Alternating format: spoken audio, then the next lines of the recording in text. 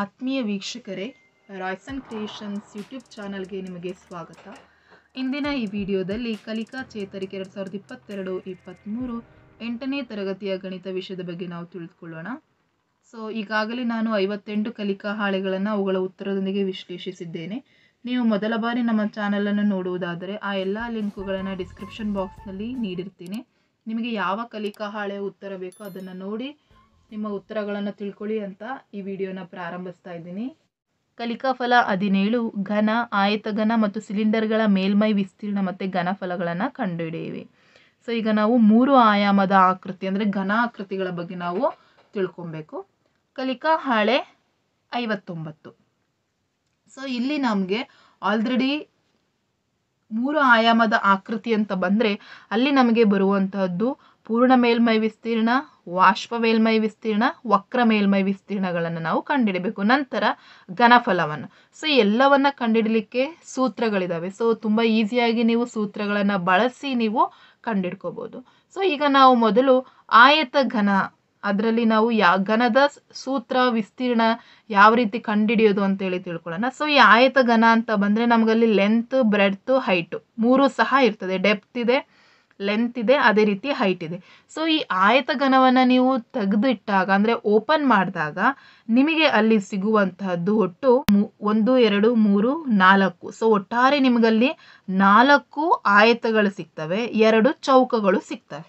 ಅರ್ಥ ಆಗ್ತಾ ಇದೆಯಾ ಸೊ ಒಟ್ಟಾರೆ ಈ ಒಂದು ಟೋಟಲ್ ಸರ್ಫೇಸ್ ಆಫ್ ಏರಿಯಾ ಅಂದರೆ ಪೂರ್ಣ ಮೇಲ್ಮೈ ವಿಸ್ತೀರ್ಣ ಯಾವಾಗ್ಲೂ ಎಷ್ಟಿರ್ತದೆ ಅಂತ ಹೇಳಿದ್ರೆ two into L H plus L B plus B H. So ನಿಮ್ಗೆ ಇಲ್ಲಿ ಸೂತ್ರವನ್ನು ಕೊಟ್ಟಿದ್ದಾರೆ. ಸೊ ನಿಮಗೆ ಆಯತಗನದ ಸಂಪೂರ್ಣ ಸೂತ್ರ ಏನಂದರೆ two of L H plus B H plus L B ಇದು ಸೂತ್ರ. ಅದೇ ರೀತಿ ಪಾರ್ಶ್ವ ಮೇಲ್ಮೈ ವಿಸ್ತೀರ್ಣಕ್ಕೂ ಸಹ ಸೂತ್ರ ಇದೆ. Two H into L plus B ಚದರಮಾನಗಳು. ಅದೇ ರೀತಿ ಘನಫಲಕ್ಕೂ ಸೂತ್ರ ಇದೆ. Length into breadth into height. Length into breadth into height.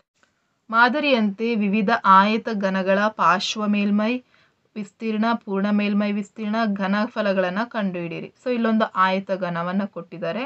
ಉದ್ದ ಎರಡು, ಅಗಲ ಎರಡು ಸೆಂಟಿಮೀಟರು ಎತ್ತರ ಮೂರು ಸೆಂಟಿಮೀಟರ್ ಸೊ ಮೊದಲಿಗೆ ನಾವು ಪಾರ್ಶ್ವ ಮೇಲ್ಮೈ ವಿಸ್ತೀರ್ಣ, ಅಂದರೆ lateral surface area L S A ಅಂದರೆ ಲ್ಯಾಟ್ರಲ್ ಸರ್ಫೇಸ್ ಏರಿಯಾ ಸೊ ಸೂತ್ರ ಡೈರೆಕ್ಟಾಗಿ ಗೊತ್ತಿರೋದ್ರಿಂದ ಎಲ್ಲವನ್ನು ಹಾಕೋಣ ಬೆಲೆಗಳನ್ನ so two H into L plus B so H ಅಂದರೆ ಹೈಟ್ ಅಂತ ಮೂರು ಕೊಟ್ಟಿದ್ದಾರೆ. Length breadth so two plus two two plus two four ಆಯಿತು. Four four into six twenty four centimetre square ಆಯಿತು.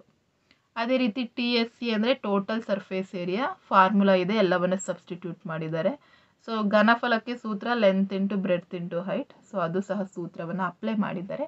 ಈಗ ನಾನು ಲೆಕ್ಕಗಳನ್ನು ಬಿಡಿಸ್ತೀನಿ. ಸೊ ಮಾದರಿ ಲೆಕ್ಕ ಅವಶ್ಯಕತೆ ಇಲ್ಲ ಅದನ್ನು ನೋಡಿರ್ತೀರ ನೀವು ಮಾಡ್ತೀರಾ? ಸೊ ಇಲ್ಲಿ ಎರಡನೇ ಚಿತ್ರ ಕೊಟ್ಟಿದ್ದಾರೆ. ಇದು ಒಂದು ಆಯತ ಘನ. ಉದ್ದ ಕೊಟ್ಟಿದ್ದಾರೆ. ಒಂದು ಸೆಂಟಿಮೀಟರ್ ಅಗಲ ನಾಲ್ಕು ಸೆಂಟಿಮೀಟರ್ ಎತ್ತರ ಆರು centimetre so L S C ಅಂದ್ರೆ ಏನು ಹೇಳಿ? ಪಾರ್ಶ್ವ ಮೇಲ್ಮೈ ವಿಸ್ತೀರ್ಣ. ಸೊ ಪಾರ್ಶ್ವ ಮೇಲ್ಮೈ ವಿಸ್ತೀರ್ಣದ ಸೂತ್ರ two H into L plus B so H ಅಂದರೆ six so two into six into one plus four one plus four ಅಂದರೆ ಫೈವ್ ಆಯಿತು. ಆರೆರಡಲಿ ಹನ್ನೆರಡು ಹನ್ನೆರಡು. ಐದಲಿ ಅರುವತ್ತು ಸೆಂಟಿಮೀಟರ್ ಸ್ಕ್ವೇರ್ ಸೊ ಈಗ ನಾವು ಎರಡನೇದಾಗಿ ಟೋಟಲ್ ಸರ್ಫೇಸ್ ಏರಿಯಾ ಅಂದರೆ ಪೂರ್ಣ ಮೇಲ್ಮೈ ವಿಸ್ತೀರ್ಣ ಕಂಡುಹಿಡಬೇಕು two of length plus length into breadth height plus L B plus B H so ಎಲ್ಲ ಸೂತ್ರ, ಇದು ಬೆಲೆಗಳನ್ನು ಸಬ್ಸ್ಟಿಟ್ಯೂಟ್ ಮಾಡಿ two into one into six plus one into four plus six into four so two into six plus four plus twenty four so ಇದಿಷ್ಟನ್ನು ಕೂಡಿಸಿದ್ರೆ thirty four ಬರುತ್ತೆ. Thirty four twos sixty eight centimetre square ಅದೇ ರೀತಿ V is equal to length into breadth into height so one into four into six ಮಾಡಿದರೆ twenty four centimetre cube ಘನಫಲ ಆಗಿರೋದ್ರಿಂದ ನಾವು ಘನಮಾನಗಳಲ್ಲಿ ಇರ್ತೀವಿ ವಿಸ್ತೀರ್ಣನ ಚದರಮಾನಗಳಲ್ಲಿ ಇಡ್ತೀವಿ. ಸೊ ಅದೇ ರೀತಿ ನೆಕ್ಸ್ಟ್ ಲೆಕ್ಕ. So L S A is equal to two H into L plus B so two into seven into ten plus fourteen so twenty four ಆಯಿತು twenty four into fourteen three thirty six ಆಯಿತು. ಅದೇ ರೀತಿ ಪೂರ್ಣ ಮೇಲ್ಮೈ ವಿಸ್ತೀರ್ಣದ ಸೂತ್ರ L two of L H plus L B plus B H so two into ten into seven plus ten into fourteen plus fourteen into seven ಇದಿಷ್ಟನ್ನು ಮಾಡಿದ್ರೆ ನಮಗೆ ಕೂಡಿಸಿದಾಗ ಮುನ್ನೂರ ಎಂಟು ಬರುತ್ತೆ. ಮುನ್ನೂರ ಎಂಟಕ್ಕೆ ಎರಡರಿಂದ ಕುಣಿಸಿದ್ರೆ ಆರುನೂರ ಹದಿನಾರು ಬರುತ್ತೆ. ಅದೇ ರೀತಿ ಘನಫಲಕ್ಕೆ ಸೂತ್ರ length into breadth into height so ಇದಿಷ್ಟು ಮಲ್ಟಿಪ್ಲೈ ಮಾಡಿದ್ರೆ ಒಂಬೈನೂರ ಎಂಬತ್ತು ಸೆಂಟಿಮೀಟರ್ ಕ್ಯೂಬ್ ಬರುತ್ತೆ. ನೆಕ್ಸ್ಟ್ ಶಿಕ್ಷಕರ ಸಹಾಯದಿಂದ ಮುಂದಿನ ಸಮಸ್ಯೆಗಳನ್ನು ಪರಿಹರಿಸು.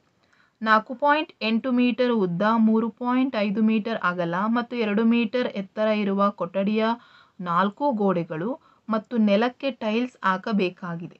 ಟೈಲ್ಸ್ನ ಅಳತೆ ಒಂದು ಚದರ ಮೀಟರ್ಗೆ ನೂರು ರೂಪಾಯಿಯಂತೆ ನಾಲ್ಕು ಗೋಡೆಗಳು ಮತ್ತು ನೆಲಕ್ಕೆ ಹಾಕುವ ಟೈಲ್ಸ್ನ ವೆಚ್ಚವನ್ನು ಕಂಡುಹಿಡಿಯಿರಿ. ಸೊ, ನಿಮಗಿಲ್ಲಿ ಅರ್ಥ ಆಗಲಿ ಅಂತ ಇಲ್ಲಿ ಚಿತ್ರವನ್ನು ಬಿಡಿಸಿದ್ದೀನಿ. ಸೊ ಇಲ್ಲಿ ನಮಗೆ ಗೋಡೆ ಕಾಣಿಸ್ತಾ ಇದೆ, ನೆಲೆನೂ ಕಾಣಿಸ್ತಾ ಇದೆ. ಸೊ ಅವ್ರು ಕೊಟ್ಟಿದ್ದಾರೆ. ಸೊ ಇದು ಒಂದು ಗೋಡೆ. ಇಲ್ಲಿ ನಮಗೆ ನಾಲ್ಕು ಗೋಡೆಗಳಿಗೆ ಮತ್ತು ನೆಲಕ್ಕೆ ಟೈಲ್ಸ್ ಹಾಕಬೇಕು. ಸೊ ಉದ್ದವನ್ನು ಕೊಟ್ಟಿದ್ದಾರೆ, ನಾಲ್ಕು ಪಾಯಿಂಟ್ ಏಯ್ಟ್ ಅಗಲ ಕೊಟ್ಟಿದ್ದಾರೆ, ಎತ್ತರನೂ ಕೊಟ್ಟಿದ್ದಾರೆ. ಸೊ ಫಸ್ಟ್ ನಾವು ಲ್ಯಾಟ್ರಲ್ ಸರ್ಫೇಸ್ ಏರಿಯಾ ಅಂದರೆ ಪಾರ್ಶ್ವ ಮೇಲ್ಮೈ ವಿಸ್ತೀರ್ಣವನ್ನು ಕಂಡುಹಿಡ್ಕೋಬೇಕು ಏಕೆಂದರೆ ಒಂದು ಬದಿಗೆ ಹಾಕ್ತಿರೋದ್ರಿಂದ ಪಾರ್ಶ್ವ ಮೇಲ್ಮೈ ವಿಸ್ತೀರ್ಣ ಸೊ ಪೂರ್ಣ ಮೇಲ್ಮೈ ವಿಸ್ತೀರ್ಣವನ್ನು ಕಂಡುಹಿಡಿಯೋಂಗಿಲ್ಲ ಪಾರ್ಶ್ವ ಮೇಲ್ಮೈ ವಿಸ್ತೀರ್ಣ. ಸೊ ಈ ಪಾರ್ಶ್ವ ಮೇಲ್ಮೈ ವಿಸ್ತೀರ್ಣಕ್ಕೆ ಸೂತ್ರ two H into length plus breadth so two into H ಅಂದರೆ ಎರಡು ಗುಣಿಸು ನಾಲ್ಕು ಪಾಯಿಂಟ್ ಎಂಟು ಪ್ಲಸ್ ಮೂರು ಪಾಯಿಂಟ್ ಐದು. ಸೊ ಇದಿಷ್ಟನ್ನು ಕೂಡಿಸಿದ್ರೆ ಎಂಟು ಪಾಯಿಂಟ್ ಮೂರು ಬರುತ್ತೆ. ಎರಡು ಗುಣಿಸು ಎರಡು ಪಾಯಿಂಟ್ ಎರಡನ್ನು ಮಾಡಿದ್ರೆ, ಎರಡು ಗುಣಿಸಿ ಎರಡು ಮಾಡಿದ್ರೆ ನಾಲ್ಕು ಬರುತ್ತೆ. ಸೊ ಇದಿಷ್ಟನ್ನು ಮಲ್ಟಿಪ್ಲೈ ಮಾಡಿದ್ರೆ ಮೂವತ್ತ್ಮೂರು ಪಾಯಿಂಟ್ ಎರಡು ಮೀಟರ್ ಸ್ಕ್ವೇರ್ ಬಂತು. ಸೊ ಇಲ್ಲಿಗೆ ನಮಗೆ ಪಾರ್ಶ್ವ ಮೇಲ್ಮೈ ವಿಸ್ತೀರ್ಣ ಬಂತು.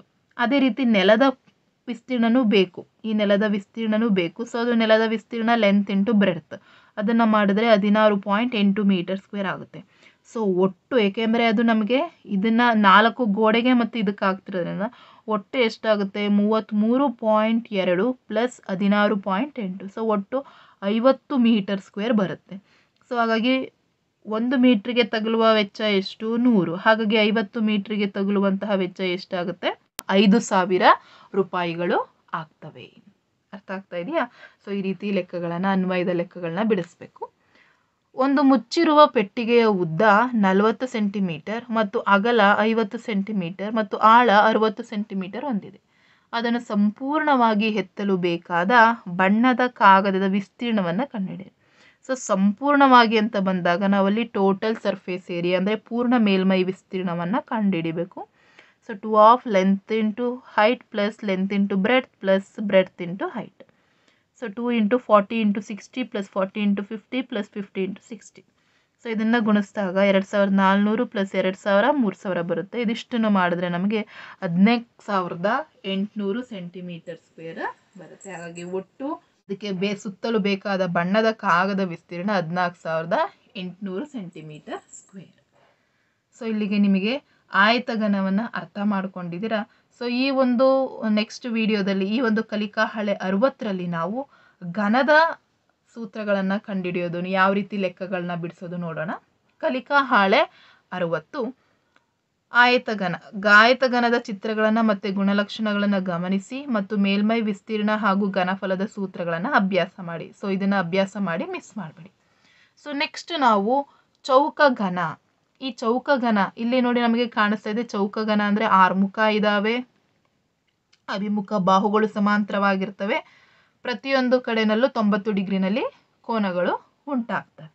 ಸೊ ಈ ಆಯತಗನದಲ್ಲಿ ನಮಗೆ ಪಾರ್ಶ್ವ ಮೇಲ್ಮೈ ವಿಸ್ತೀರ್ಣ, ಪೂರ್ಣ ಮೇಲ್ಮೈ ವಿಸ್ತೀರ್ಣ, ಅದೇ ರೀತಿ ಘನಫಲ ಇದೆ. ಸೊ ಪಾರ್ಶ್ವ ಮೇಲ್ಮೈ ವಿಸ್ತೀರ್ಣ ನಾಲ್ಕು ಎಲ್ ಚದರ ಮಾನಗಳು. ಅದೇ ರೀತಿ ಪೂರ್ಣ ಮೇಲ್ಮೈ ವಿಸ್ತೀರ್ಣ ಆರು ಎಲ್ ಸ್ಕ್ವೇರ್ ಚದರಮಾನಗಳು ಘನಫಲಕ್ಕೆ ಬಂತ ಘನಫಲಕ್ಕೆ ಬಂದರೆ ಎಲ್ ಕ್ಯೂಬ್ ಘನ ಮಾನಗಳು ಆಗ್ತವೆ. ಸೊ ಈ ಸೂತ್ರವನ್ನು ಬಳಸ್ಕೊಂಡು ನಾವು ಮುಂದಿನ ಲೆಕ್ಕವನ್ನು ಬಿಡಿಸೋಣ. ಸೊ ಆಲ್ರೆಡಿ ಇಲ್ಲೊಂದು ಮಾದರಿ ಲೆಕ್ಕ ಬಿಡಿಸಿದ್ದಾರೆ. ಸೊ ನಾನು ಮಾದರಿ ಲೆಕ್ಕವನ್ನು ಬಿಡಿಸ್ಲಿಕ್ಕೆ ಹೋಗಲ್ಲ. ಡೈರೆಕ್ಟಾಗಿ ಲೆಕ್ಕವನ್ನೇ ಬಿಡಿಸ್ತೀನಿ. ಇಲ್ಲಿ ಮೊದಲನೇ ಘನವನ್ನು ಕೊಟ್ಟಿದ್ದಾರೆ. ಅದರ ಲೆಂತನ್ನು ಕೊಟ್ಟಿದ್ದಾರೆ. ಸೊ ಪಾರ್ಶ್ವ ಮೇಲ್ಮೈ ವಿಸ್ತೀರ್ಣದ ಸೂತ್ರ ನಾಲ್ಕು ಎಲ್ ಸ್ಕ್ವೇರ್ ಸೊ ನಾಲ್ಕು ಇಂಟು ನಾಲ್ ನಾಲ್ಕು ಹಾಗೆ ಸೂತ್ರದಲ್ಲಿದೆ, ಅದನ್ನು ಬರ್ಕೊಳ್ಳಿ. ಎಲ್ ಸ್ಕ್ವೇರ್ ಅಂದರೆ ನಾಲ್ಕನ್ನು ಎರಡು ಬಾರಿ ಗುಣಿಸು ಅಂತ. ಎಲ್ ಇಂಟು ಎಲ್ ಸೊ ನಾಲ್ಕು ಇಂಟು ನಾಲ್ಕು. ಸೊ ನಾಲ್ಕು ನಾಲ್ಕಲಿ ಹದಿನಾರು, ಹದಿನಾಲ್ಕು ನಾಲ್ಕಲಿ ಅರವತ್ನಾಲ್ಕು ಸೆಂಟಿಮೀಟರ್ ಸ್ಕ್ವೇರ್ ಅದೇ ರೀತಿ ಪೂರ್ಣ ಮೇಲ್ಮೈ ವಿಸ್ತೀರ್ಣಕ್ಕೆ ಸೂತ್ರ six L square so six into four into four four four the sixteen sixteen six ninety six so V is equal to L cube ಅಂದರೆ ನಾಲ್ಕನ್ನ ಮೂರು ಸರಿ ಗುಣಿಸಿದಾಗ ಅರವತ್ನಾಲ್ಕು ಸೆಂಟಿಮೀಟರ್ ಕ್ಯೂಬ್ ಬರುತ್ತೆ. ಅದೇ ರೀತಿ ಉಳಿದ ಲೆಕ್ಕಗಳನ್ನ ಮಾಡೋಣ. ಸೊ ಎರಡನೇ ಒಂದು ಚಿತ್ರದಲ್ಲಿ ಉದ್ದ ಹತ್ತು ಸೆಂಟಿಮೀಟರ್ ಇದೆ. ಹಾಗಾಗಿ ನಾಲ್ಕು L square is equal to ನಾಲ್ಕು ಇಂಟು ಹತ್ತು ಇಂಟು ಹತ್ತು ಸೊ ನಾನ್ನೂರು ಸೆಂಟಿಮೀಟರ್ ಅದೇ ರೀತಿ ಪಾರ್ಶ್ವ ಪೂರ್ಣ ಮೇಲ್ಮೈ ವಿಸ್ತೀರ್ಣ ಆರು L square so six into ten into ten ಮಾಡಿದ್ರೆ ಆರುನೂರು ಸೆಂಟಿಮೀಟರ್ ಸ್ಕ್ವೇರ್ ಬರುತ್ತೆ. So V is equal to L cube so ten into ten into ten ಮಾಡಿದ್ರೆ ತೌಸಂಡ್ ಸೆಂಟಿಮೀಟರ್ ಕ್ಯೂಬ್ ಬರುತ್ತೆ.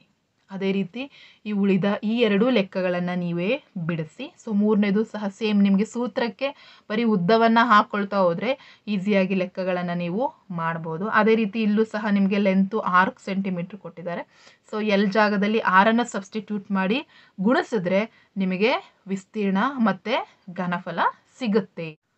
ನೆಕ್ಸ್ಟ್ ಸೆವೆಂಟೀನ್ ಪಾಯಿಂಟ್ ಫೋರ್ ಶಿಕ್ಷಕರ ಸಹಾಯದಿಂದ ಮುಂದಿನ ಸಮಸ್ಯೆಗಳಿಗೆ ಪರಿಹಾರವನ್ನು ಕಂಡುಹಿಡಿಯಿರಿ.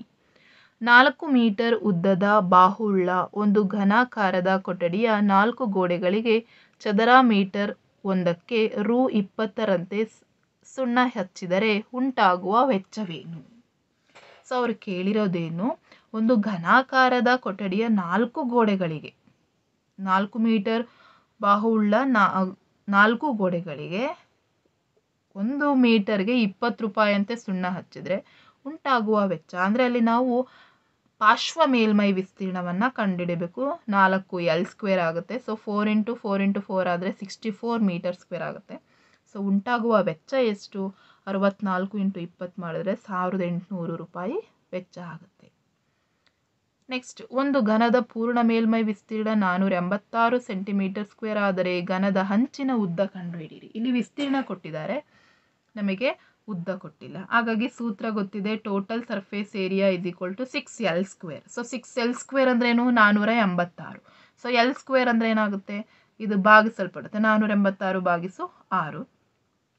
ಸೊ ಹಾಗಾಗಿ R only R ಎಂಬತ್ತೊಂದ್ಲಿ so L square is equal to ಎಂಬತ್ತೊಂದು ಆಗುತ್ತೆ. So L square is equal to ಎಂಬತ್ತೊಂದನ್ನು ಒಂಬತ್ತು ಸ್ಕ್ವೇರ್ ಅಂತ ಬರೀಬೋದು. ಸೊ ಹಾಗಾಗಿ ಇಲ್ಲಿ ಗಾತ ಸೇಮ್ ಇರೋದ್ರಿಂದ ಕ್ಯಾನ್ಸಲ್ ಮಾಡಿದ್ರೆ ಲೆಂತ್ ಏನಾಗುತ್ತೆ? ಒಂಬತ್ತು ಸೆಂಟಿಮೀಟರ್ ಬರುತ್ತೆ. ಸೊ ಈ ರೀತಿಯೂ ನೀವು ಆ ಲೆಕ್ಕವನ್ನು ಬಿಡಿಸ್ಬೋದು. ಅಥವಾ ಸ್ಕ್ವೇರ್ ರೂಟ್ ಹಾಕಿಯೂ ಸಹ ಮಾಡ್ಬೋದು. ಈ ರೀತಿ ಮಾಡಿದರೂ ಏನು ತಪ್ಪೇನಿಲ್ಲ. ಸೊ ಇಷ್ಟು ನಿಮಗೆ ಅರ್ಥ ಆಗಿದೆ ಅಂತ ಹೇಳ್ತಾ ಈ ವಿಡಿಯೋನ ಇಲ್ಲಿಗೆ ಎಂಡ್ ಮಾಡ್ತಾ ಇದ್ದೀನಿ. ಹೆಚ್ಚಿನ ವಿಡಿಯೋಗಾಗಿ ರಾಯ್ಸನ್ ಕ್ರಿಯೇಷನ್ಸ್ ಯೂಟ್ಯೂಬ್ ಚಾನಲನ್ನು ಸಬ್ಸ್ಕ್ರೈಬ್ ಆಗಿ, ಹಾಗೂ ನಿಮಗೆ ಯಾವುದೇ ರೀತಿಯ ಡೌಟ್ಸ್ ಇದ್ದರೆ ಕಾಮೆಂಟ್ ಮಾಡಿ ತಿಳಿಸಿ ಅಂತ ಹೇಳ್ತಾ ಈ ವಿಡಿಯೋನ ಎಂಡ್ ಮಾಡ್ತಾ ಇದ್ದೀನಿ. Thank you